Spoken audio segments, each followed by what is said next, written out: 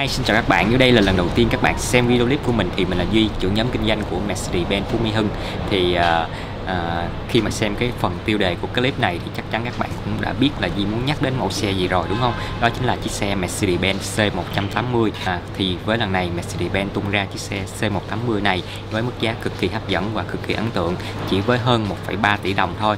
Cho nên là Mercedes-Benz muốn lấy uh, những cái thị phần của những cái thương hiệu xe phổ thông hơn. Đó chính là những cái dòng xe uh, như là Toyota Camry nè à, Honda Accord hoặc là uh, Mazda 6 thì uh, trước đây á, các bạn đã biết thì để sở hữu một cái chiếc xe Mercedes-Benz á, thì không thật sự nó không có đơn giản đâu các bạn. Mọi người thì thường nghĩ nó là một chiếc xe rất là mắc tiền rất là cao cấp và những cái chi phí bảo hành bảo dưỡng hoặc là uh, sửa chữa sau này nó khá là tốn kém. Nhưng mà ngày nay để sở hữu một chiếc xe Mercedes-Benz thì các bạn thấy không? Nó khá là đơn giản đơn giản hơn rất là nhiều bởi vì cái giá nó không chênh lệch nhiều so với những cái dòng xe phổ thông bao nhiêu hết á.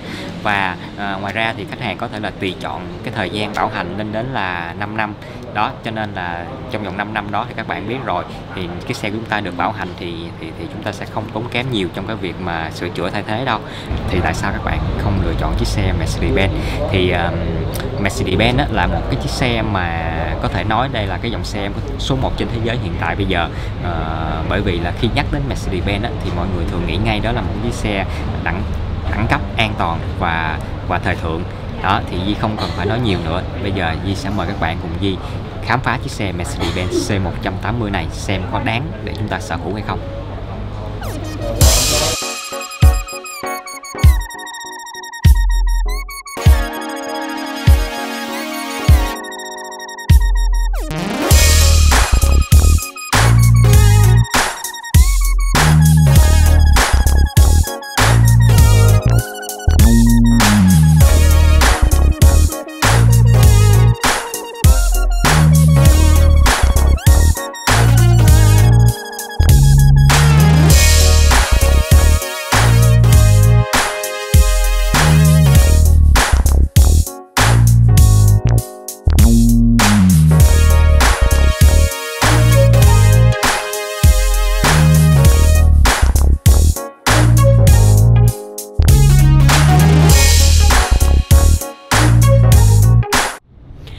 Đây là chủ nhân của chúng ta ngày hôm nay chiếc xe Mercedes-Benz C180 2020 thì với chiếc xe Mercedes-Benz C180 này thì uh, với cái giá rất là gần với những cái thương hiệu xe bình dân hơn chẳng hạn như là Toyota Camry, uh, Honda Accord hoặc là Mazda 6 thì uh, với cái mức giá hơn 1,3 tỷ đồng thôi thì Duy nghĩ là Mercedes-Benz họ muốn lấy đi những cái thị phần của những cái dòng xe phân khúc thấp hơn mình.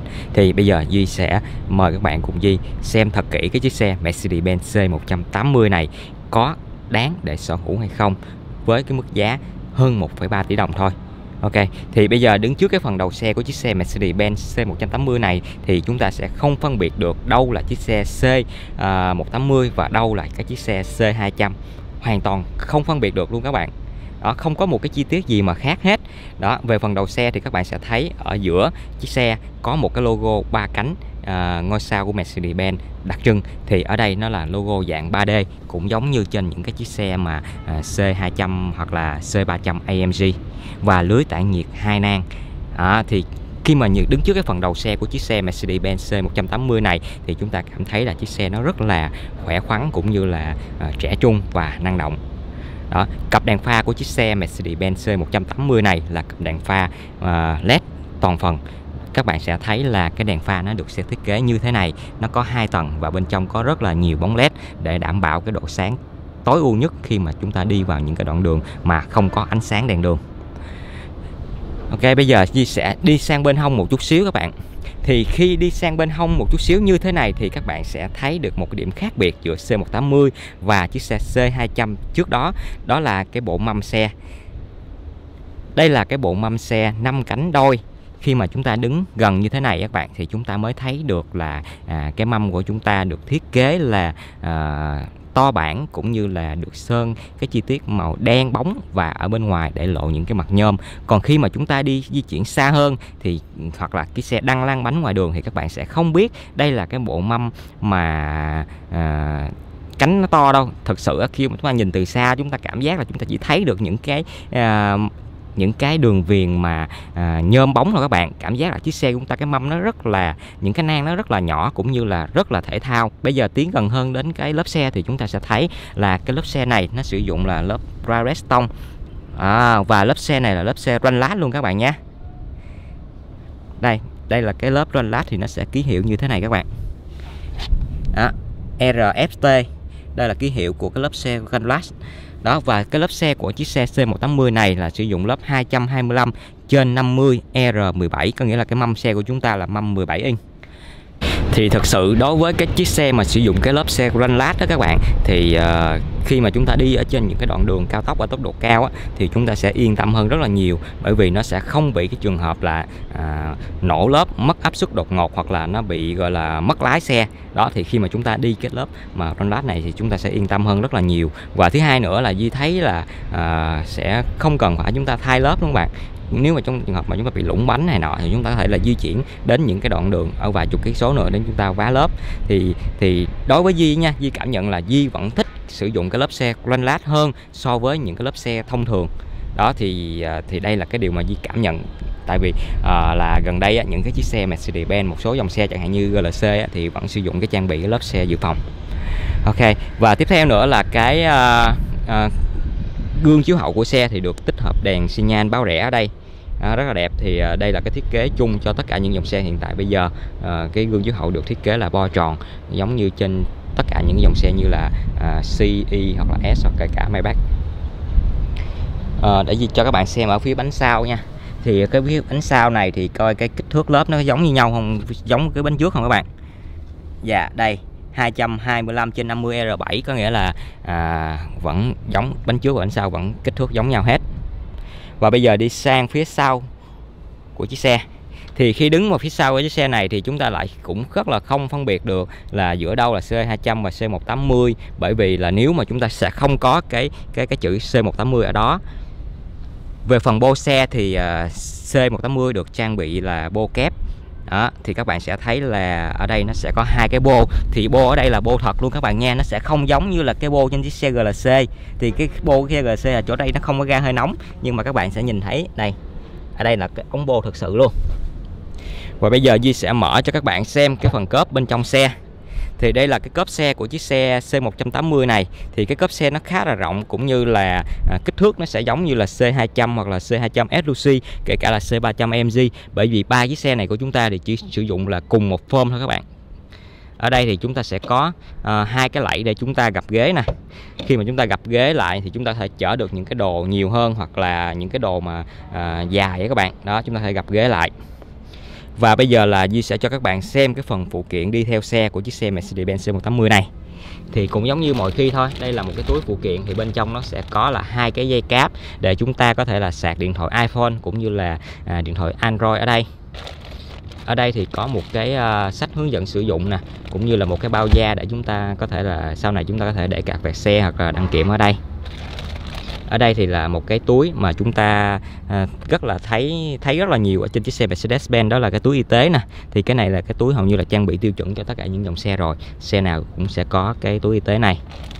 Thì bên trong cái túi y tế này Di cũng đã cho các bạn xem ở những clip trước rồi. Ở bên đây chủ yếu là bông băng này nọ thôi hoặc là kéo hoặc là những cái gạt thôi. Và đây là cái thảm theo xe của chiếc xe Mercedes-Benz C180 này. Đó thì cái thảm này cũng sẽ giống như những cái thảm mà mỗi khi cho các bạn xem. Ở đây có chữ Mercedes-Benz. Và đây là cái phần quà mà khi mà các bạn mua xe các bạn sẽ được ừ, tặng kèm theo xe. Đây là cái phần quà mà Mercedes-Benz tặng cho chúng ta nè các bạn khi chúng ta mua xe. Thì ở đây là cái thư cảm ơn của Mercedes-Benz tổng giám đốc Mercedes-Benz đã ký ở đây. Ở đây là một cái cuốn sổ để chúng ta có thể là ghi chép ở đây. Ở đây là một cái bút của Mercedes-Benz rất là đẹp nè các bạn.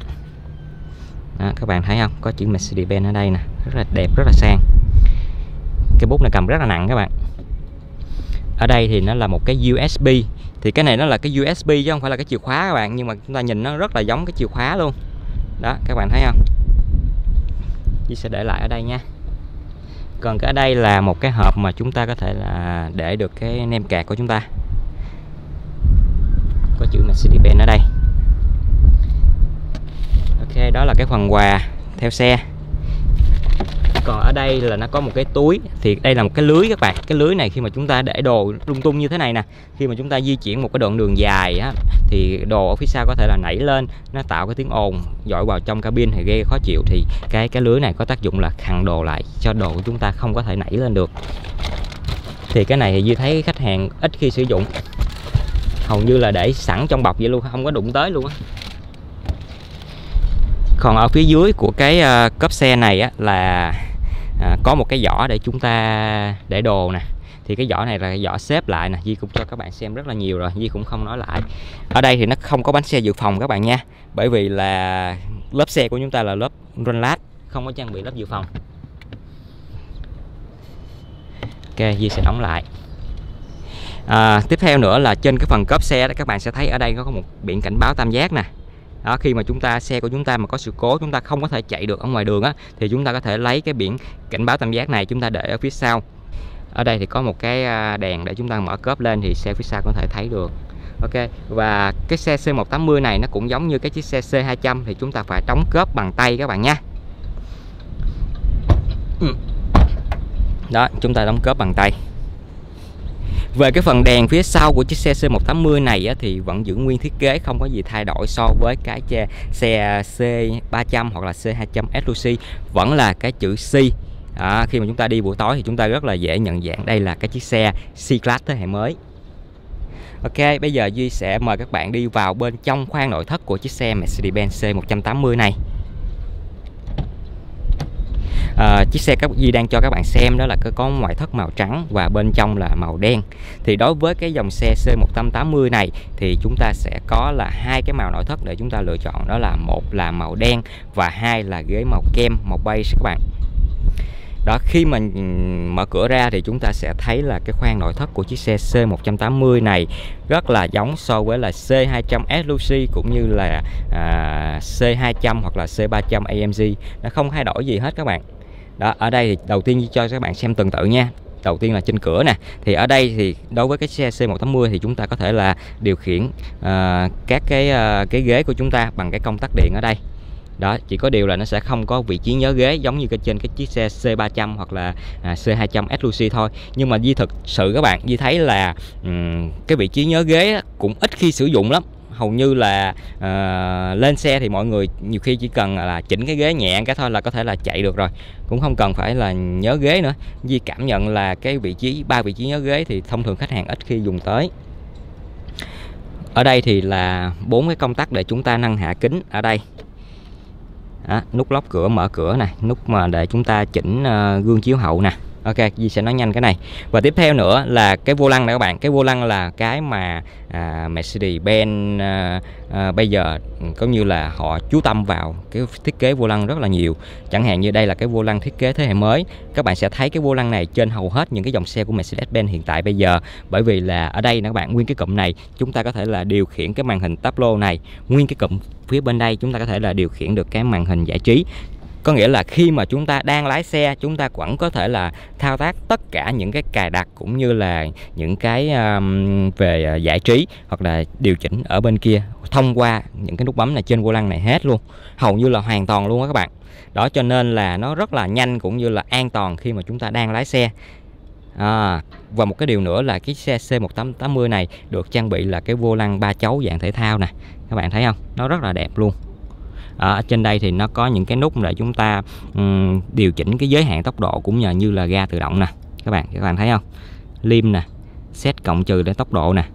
Đó và bên đây là các bạn chúng ta sẽ thấy là ở đây nó sẽ có cái nút hình điện thoại nè. Đó để chúng ta có thể là sử dụng đàm thoại rảnh tay ở đây.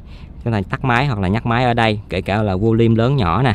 Rồi à, cái nút home này là chúng ta để điều khiển cái màn hình bên đó. À, khi mà chúng ta đang lái xe hầu như là chúng ta có thể chỉnh hết tất cả mọi thứ rồi thì đối với cái nội thất của chiếc xe C180 này là cái thất màu, nội thất màu đen các bạn. Cho nên là các bạn sẽ thấy là à, nó rất là sang trọng luôn nó kết hợp với cái màu sơn màu trắng ở bên ngoài nữa. Thì di thấy là màu đen và màu trắng. Thì đó là một cái sự kết hợp rất là à, ok rất là đẹp. Ok bây giờ di sẽ bước vào bên trong cái khoang nội thất này và di nổ máy lên cho các bạn xem cũng như là à, điều chỉnh những cái thông số những cái cài đặt ở bên trong cái chiếc xe Mercedes-Benz C180 này. Chúng ta đạp thắng và bấm nút đây là đề các bạn.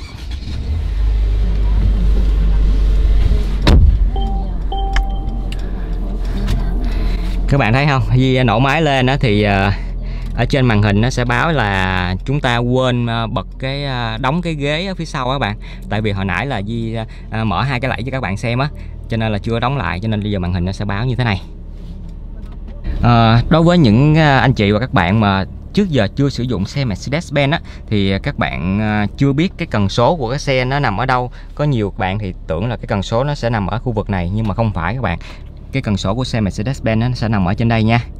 Đó thì khi mà chúng ta đạp thắng chúng ta gạt xuống các bạn thấy không? Có chữ số D nè.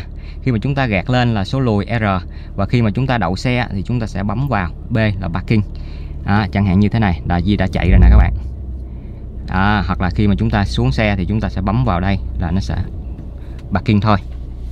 Đó, cái cần số này thì khá là đơn giản. Khi mà chúng ta cần xoay chuyển trong những cái đoạn đường hẹp chúng ta cần quay đầu xe thì chúng ta sẽ không cần phải rời tay lái nữa. Như thế thì nó sẽ tiện lợi hơn cũng như là nhanh chóng hơn rất là nhiều khi mà chúng ta xoay chuyển trong những đoạn đường hẹp. Cần xi nhan gạt nước mưa tự động thì cũng sẽ nằm ở đây các bạn nhé.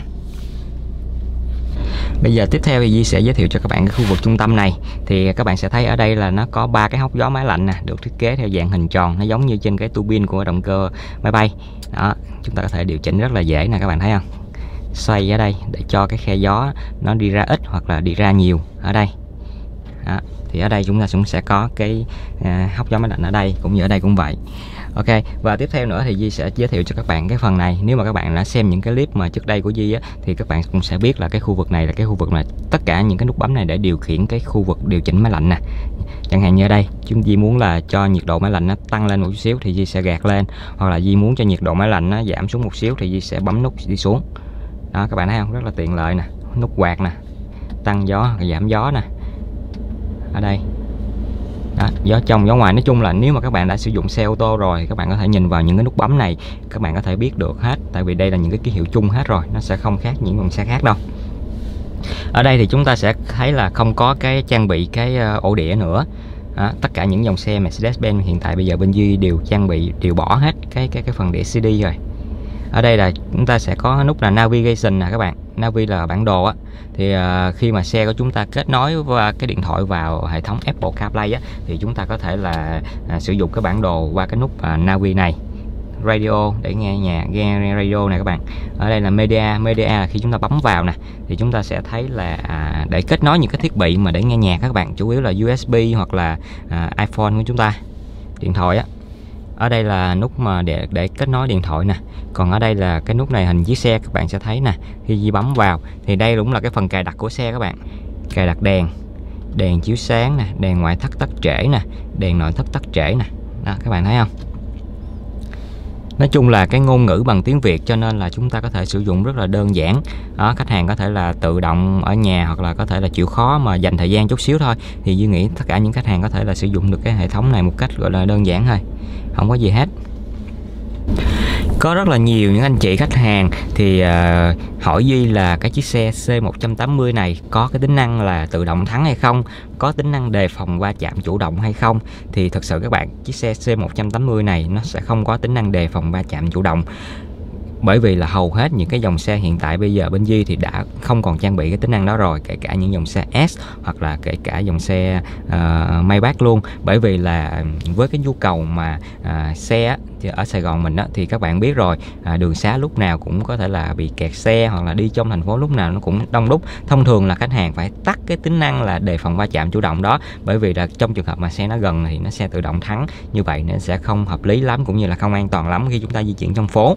Nhưng đối với cái chiếc xe C180 này nó có một cái tính năng thay thế nó rất là hay. Có nghĩa là khi mà chúng ta đi trên những cái đoạn đường hẹp những cái đoạn đường mà à, rất là nhiều chướng ngại vật hoặc là à, như nói là đang kẹt xe đi đó xe thì đang quay quanh ở chúng ta đó thì chiếc xe sẽ nhận biết được điều đó và tự động à, chuyển sang cái chế độ là giới hạn tốc độ. Chỉ cho chúng ta chạy tối đa 20 km/h trong cái khu vực hẹp thôi các bạn trong khu vực hẹp thôi 20 km trên giờ. Có nghĩa là khi mà trong trường hợp mà kẹt xe như vậy mà chúng ta lỡ nhầm đạp chân ga thì chiếc xe của chúng ta chỉ chạy được tốc độ tối đa là 20 km/h thôi để nó giảm thiểu cái mức va chạm xảy ra khi mà chúng ta à, bị tông xe ở trong cái khu vực hẹp. Đó thì Duy nghĩ là đây là một cái tính năng mà nó sẽ hợp lý hơn khi chúng ta di chuyển trong thành phố. Nó sẽ không có tự động thắng các bạn tại vì khi mà đi các bạn biết rồi đang đi trong thành phố mà xe của chúng ta mà nó tự động thắng rồi thì xe ở phía sau nó dễ tông vào xe chúng ta lắm. Đó thì cái mà mà mà Di thấy là đây là một cái sự uh, cải tiến cũng như là uh, tích hợp cái tính năng này nó rất là phù hợp với điều kiện đường xá ở Việt Nam mình. Ok, bây giờ Di sẽ cho các bạn xem ở cái khu vực này. Thì đối với cái chiếc xe C180 bây giờ thì chỗ này nó sẽ không còn được trang bị cái uh, sạc tự động nữa các bạn sạc không dây nữa các bạn mà cái C200 thì trước đây các bạn sẽ thấy là ở đây có sạc không dây. Ở đây thì có một cái uh, cổng 12V nè chúng ta có thể là để sạc điện ở đây cũng được. Ở đây thì chúng ta sẽ có hai cái cốc để chúng ta à, hai cái chỗ để chúng ta để cốc nè. Còn cái chìa khóa của chiếc C180 thì nó sẽ như thế này nó sẽ không khác gì so với cái, những cái chìa khóa trước đây. Dạ. Bây giờ Di sẽ giới thiệu cho các bạn xem ở cái khu vực à, điều khiển trung tâm. Thì à, các bạn chắc là không có xa lạ với cái núm xoay này đâu đúng không ạ? Cái núm xoay này để chúng ta điều khiển cái màn hình ở trên này nè. Thay vì chúng ta sử dụng cảm ứng thì chúng ta có thể điều khiển cái nút xoay này nó sẽ à, dễ dàng hơn. Đó hoặc là ở đây chúng ta có thể điều khiển cảm ứng ở đây cũng được các bạn. Đó, ở đây nè các bạn thấy không? Cảm ứng nè. Đó và tiếp theo nữa là Duy sẽ cho các bạn xem những cái nút bấm ở đây hai bên. Thì đầu tiên là cái nút dynamic nè. Các bạn thấy không? Có chữ dynamic nè. Thì cái dynamic này là cái tính năng lái của xe. Thì cái xe C180 này có tổng cộng là 5 cái chế độ lái đó là eco khi chúng ta đi trên những cái đoạn đường mà kẹt xe nè. Comfort là chế độ lái là tiêu chuẩn hàng ngày nè. Sport là chế độ lái thể thao. Nếu mà chúng ta thích trải nghiệm những cảm giác lái phấn khích hơn, thú vị hơn hoặc trên những cái đoạn đường cao tốc chúng ta trải nghiệm một đoạn á, thì chúng ta sẽ chọn qua chế độ Sport hoặc là chế độ Sport cộng.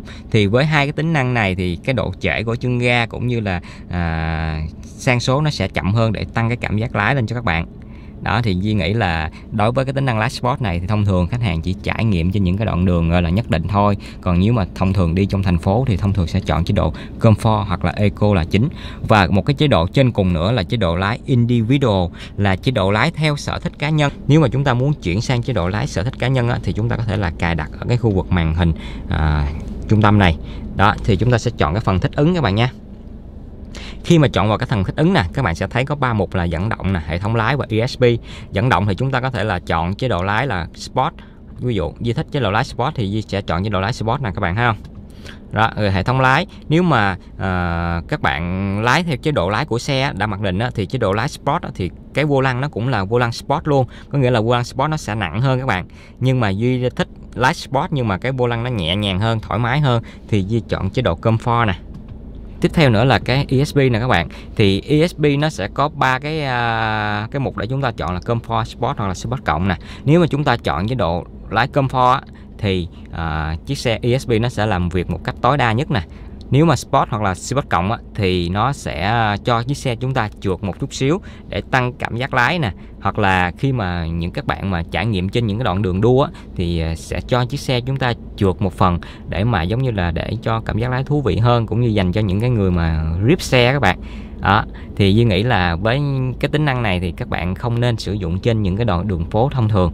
Đó, nếu mà chúng ta thích thì trải nghiệm trên những cái đoạn đường vắng hoặc là à, trên những cái đoạn đường nội bộ thôi đó, các bạn thấy nè.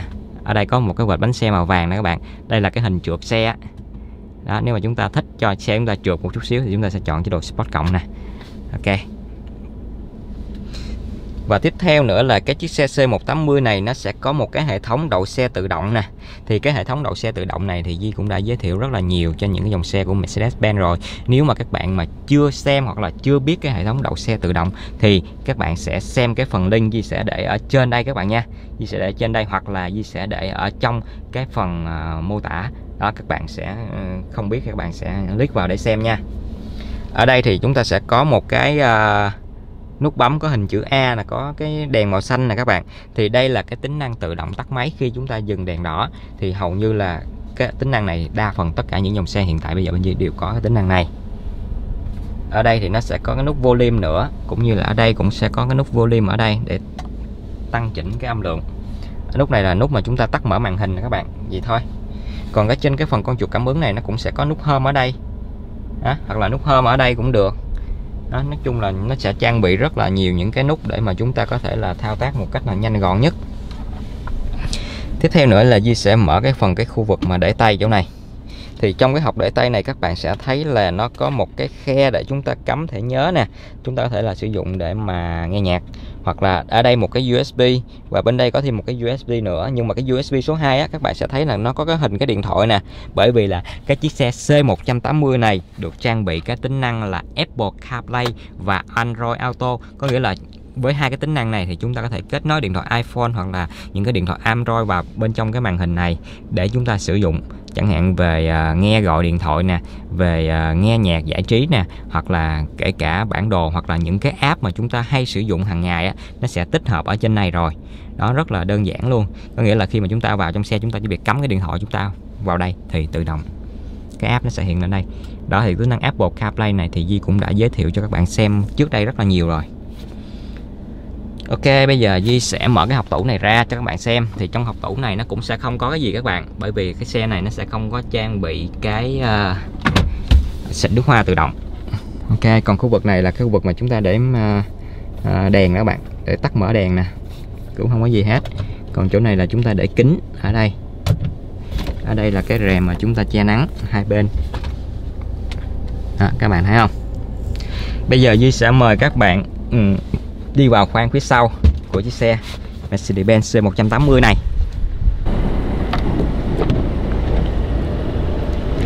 Đây là cái khoang phía sau của chiếc xe Mercedes-Benz C180 các bạn Nó không khác gì so với cái chiếc C200 hết. Thì ở đây chúng ta sẽ thấy là có một cái chỗ mà để chúng ta có thể để tay ở đây nè. Và ở đây thì chúng ta có thể mở cái nắp này lên để chúng ta có thể để là điện thoại hoặc là đồng hồ hoặc là những cái dụng cụ mà chúng ta sử dụng từ khu vực phía sau. Còn ở đây á, thì chúng ta có thể để được hai chai nước ở đây các bạn thấy không? Tiếp theo nữa là khi mà ngồi phía sau á các bạn sẽ thấy lúc nào cũng thoải mái và mát mẻ bởi vì ở đây được trang bị là hai cái hốc gió máy lạnh. À, chúng ta có thể có núm xây nè chúng ta có thể điều khiển cái lượng gió đi vào đi ra ở đây. Thì à, cái khu vực phía sau các bạn thì nó cũng tương đối như thế này thôi cũng không có gì quá nhiều để nói. Thì bây giờ Di sẽ mời các bạn xem cái động cơ của chiếc xe Mercedes-Benz C180 này.